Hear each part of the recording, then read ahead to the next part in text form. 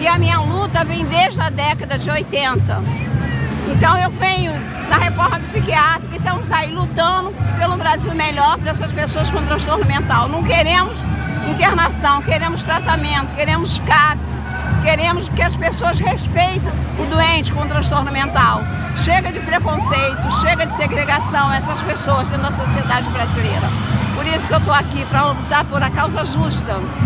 Eu posso usar essa imagem num documentário da Fiocruz? Pode! Meu nome é Iracema Polidoro, sou presidente da Associação de Saúde Mental Juliano Moreira, da colônia, antiga colônia Juliano Moreira. Dá teu telefone que eu vou querer conversar com você. Ah, tá bom. Pode dar o telefone agora? Pode, que aí eu anoto. Tá, 993 93 3573. Tá bom, obrigada, tá? Porque não dá